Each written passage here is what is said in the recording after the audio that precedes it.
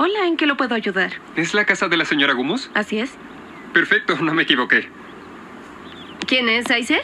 Ah, Soy yo. Gumus. Orhan. Adelante, pasa. No, muchas gracias, aquí estoy bien. ¿Qué, ¿Qué es eso? ¿Maletas?